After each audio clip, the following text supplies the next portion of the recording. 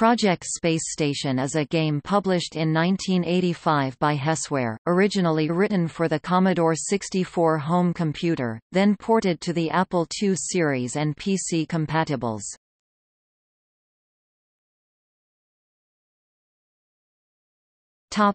Summary In the game the player is put in control of NASA and tasked with building and maintaining a space station and generating enough money with commercial contracts to make up for an anemic yearly budget. This can be seen as a discrete set of phases, except that they all proceed simultaneously. The exception is at the beginning of the game where the player has unlimited time in the planning phase before the game clock starts. In the planning phase, the player first allocates the funds they have to various budget items, like crew selection, station modules, and research and development. Then they choose their crew, who have intrinsic task sets like piloting and physics, and varying levels of competence and compatibility with other potential employees. From there the player purchases equipment like space suits and satellites, and station modules like laboratories and solar arrays. Then they schedule their launches using the two space shuttles available Atlantis and Discovery, though the initial release used the Space Shuttle Challenger, and have their budget approved. In the final stage of the planning phase the player can create a simulated station with an unlimited number of parts, and without dealing with the later constrictions of the EVA. The launch phase has the player decide whether launch conditions are stable enough to merit launch. If they give the implicit go-ahead, they engage in a light arcade sequence where the player attempts to keep the shuttle on course throughout its orbital burn. The more successful the player is, the closer the shuttle will be to the station. Once the shuttle is in orbit, the player is tasked to assemble the components they brought up or to fire off any satellites they have contracts for in the extravehicular activity, or EVA phase. Here the player directly controls an orbital construction pod, a small ship with mechanical arms that an astronaut can use to move large equipment. Being careless here could have consequences as the pod or equipment may become damaged, and it may run out of fuel and become stranded until another pod can rescue it.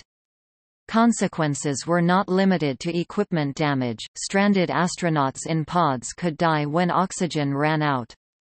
Other crew hazards included solar flares, which could kill astronauts on the station or shuttle if precautions using an emergency module in station design were not taken. Crew died in reverse alphabetical order from solar flares. The player then transfers crew to and from the space station and assigns them to research tasks. Completing these tasks awards the player with government contracts that supplement NASA's budget.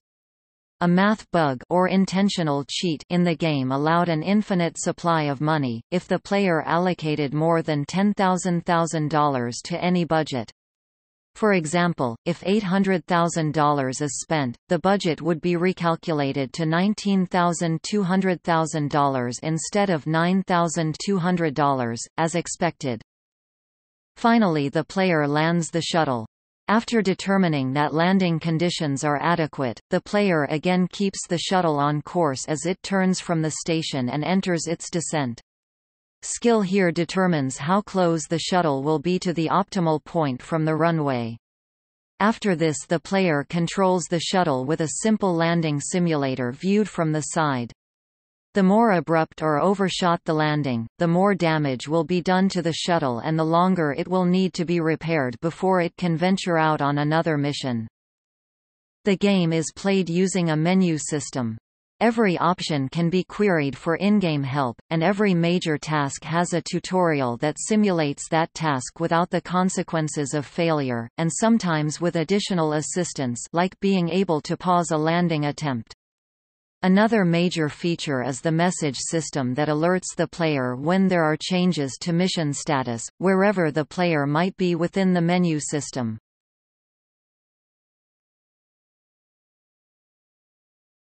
Topic: Reception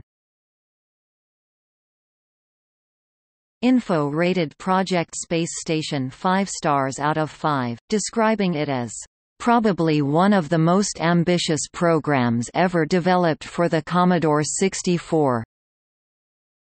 A fun, complex simulation.